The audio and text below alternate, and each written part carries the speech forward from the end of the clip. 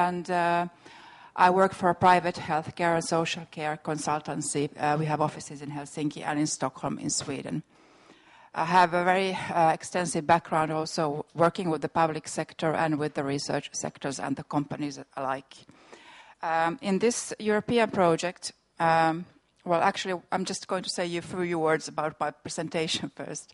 Uh, I will just say a few words about the project itself. Then I'm going to discuss a little bit about the demand side instruments, the approach, and why we are here today. And finally, a few words about the concrete instruments, the public procurement of innovation, and the pre-commercial procurement. And after that, I hope you will join the discussion or even during my presentation because we are in Spain or Catalonia and not in Finland where everyone speaks and sits, or sits quiet. Okay? So please feel free to comment also during the presentation. And if I speak too fast or I'm not clear, please say that too. Okay. So the Inspire project, um, it's a two-year project where we're actually um, trying to um, support European ac actors in our different regions, but also European-wide, to start become active in the scene of demand-side instruments, to start using public procurement and pre-commercial procurement as a driver for public sector change and also for economic growth and social benefits. We have the difference with maybe to some other European projects is that we actually have very capable experts in our project from different sectors and from different regions in Europe who have all been working for a long time with these issues. So we are not newcomers in the area. So I really hope you take a chance to talk to us later today um, in the afternoon sessions, for example. So we are trying to connect the actors in Europe uh, to also to pool demand on activities so that there will be some scalability and more interest for, for the companies to participate in the upcoming uh, procurements or pre-commercial procurements. And we are also sharing evidence on what has been already done uh, successfully in order to really give confidence and, and new ideas to everyone uh, interested. We have a website. Uh, it's called the Inspire Academy, um, where you can actually find quite a lot of materials on these instruments and also see what is going on in different parts of Europe at the moment. So this is just to show you the, the website uh, itself and, and some idea what, what you can find there. Well, then, then we go to the, to the, to the reason we are here today. And, and the first thing is that you might ask, at least those of you who have not been working with this instrument, what is the aim of, of demand-side instruments? Uh, well, European uh, Commission, as well as, I suppose, national funding bodies and authorities have been spending throughout the years quite a lot of money on R&D uh, projects. But now it's time to start thinking a bit differently in the R&D work. And, and the question is whether uh, the demand side actors like yourselves in, the public, public uh, organizations in Catalonia can, as demand side act actors, become the drivers of this innovation, innov innovative activities. So it should not just be uh, technology, technology or research push like often has been until nowadays. I'm not saying always, but very often. And why should we be a demand side focus? Well, actually, there are, even if you don't maybe believe, there are studies done. It shows that it actually pays off if the demand side becomes more active.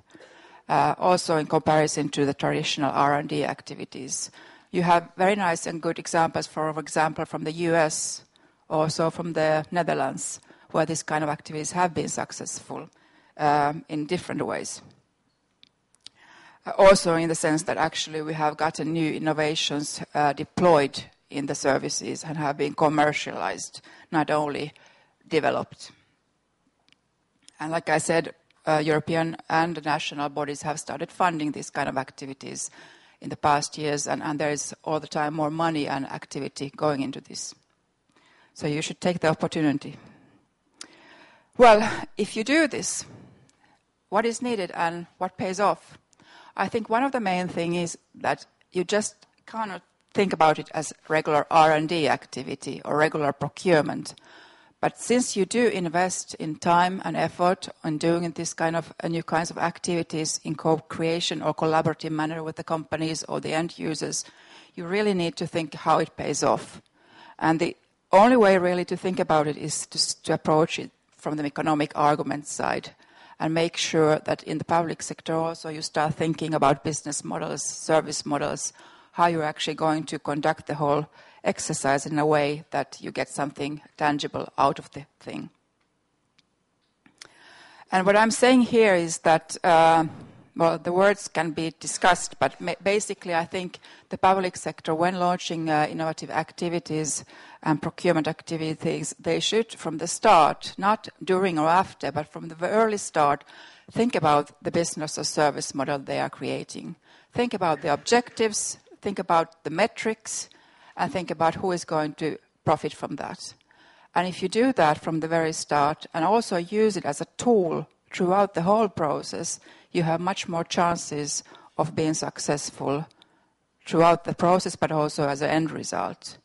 And the end result in the most successful cases should, of course, be actually commercial procurement that is uh, also deployed and taken into use in the public sector services or possibly elsewhere even in private services. These are the four M's I often talk about. I'm not going to say much more about those now. We can discuss, I think, more in the afternoon session, but maybe just give you an overview of what kind of things uh, your organization and you personally need to think about when you start uh, working with the companies and end users in the very early phases of pre procurement. Uh, then a few words about the instruments. Well, the main, these are one of some of the main characteristics of PPI and PCP, the public procurement of innovation and the pre-commercial procurement. Firstly, like I said, it's really a need, a challenge-based approach.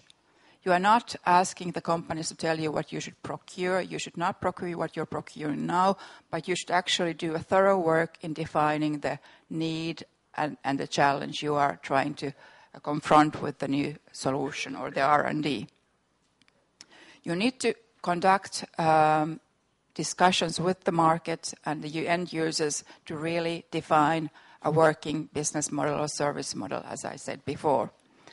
And you do actually need to create specifications that focus on the functionality, value, and outcome, not so much of the concrete uh, product itself.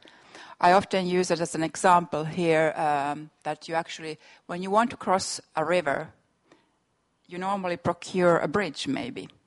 Well, this time you don't procure a bridge, you procure a solution to cross the river, right? So, this is a simple example of what we are doing and discussing here today. Uh, small text. Um, you can look at this maybe later on, but this may basically have tried to put in a very small space the whole process of uh, innovative procurement process. If you look at the left side, uh, it starts with defining the strategical point of in your organization. What kind of service strategy you have, what kind of e-health strategy you have, what kind of maybe economic or social objectives you have in your organization. And that is the starting point of PPI and PCP. The second step is that when you have done that uh, and you know that you have the mandate to do things differently, you start doing the needs assessment in your organization. For example, in the hospital with the clinicians, in a very uh, close connection to really understand what are the real needs, what works, what does not, what does what exists already, and what is feasible to, to approach in a new way. Then you conduct the dialogue with the market and also and, and, and, with the end users, for example, the patients in this case. if you're acquiring a new mobile health solution, if you really want to know that it will actually work also for the patients, you need to some, have some understanding of that side as well. So it's about uh, co-creating also with the end users. And that brings empowerment, inclusion, more certainty that the solution will actually be used when procured uh, through commercial procurement and taken into use. And finally, when you have uh, done all that and you are sure you want to continue, you have to do the design, the strategy, and the competition you're going to do. And if you are in a situation where you already now understand that there is a solution on the market, or there is likely to be a solution on the market very soon, uh, based on the exercise you have done in the pre-phase, well, then, then you do innovative procurement. It's a commercial procurement with specifications that drive innovation maybe in a new, new different way. So it's, not that different from a commercial procurement, it's different in the sense that you have done a thorough pre-exercise to understand what you really want to procure, and the specifications might be innovative compared to regular procurement. But if you're not finding any solutions, you don't think there will be one tomorrow or in the coming months, then you actually choose as an instrument the pre-commercial procurement, the procurement of R&D services. And that's a completely different story. I'm not going to go through this uh, more thoroughly here, but here you see the framework from European Commission. You might be familiar with it already. Uh, the basic thing, well, actually, and, and in the, the, on the far left side in phase zero, that is all the part which I already discussed in my previous slides. So all that is in the zero phase. And, and, and after you've done that and you decided that you launch a PCP, then you have the call for tender, PCP call for tender. And, and uh,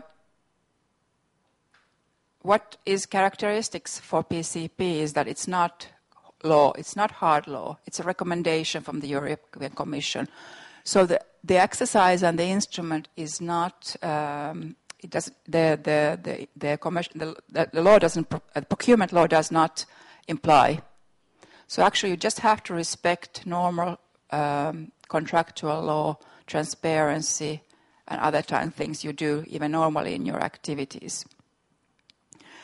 The, the main thing is it, that it is a competitive framework, so you have to award the award, uh, give the award to multiple companies, and, and, and you do it a stepwise, stepwise process where you actually eliminate companies uh, throughout the process, and you probably end up then in the end with one or two or three maximum that are the best ones. The IPRs are shared, so actually uh, the company has possibility to exploit their understanding on other markets and also the public sector has the possibility to use the IPRs um, in their activities.